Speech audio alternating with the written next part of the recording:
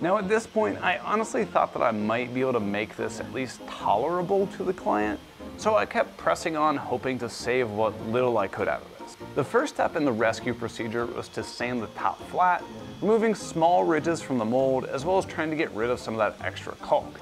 Honestly, the sanding definitely helped and it removed a lot of the caulk, so I figured now it was time to move my attention back to the bottom. To remove all the leftover junk, I brought out the power carving tools once again, which made quick work.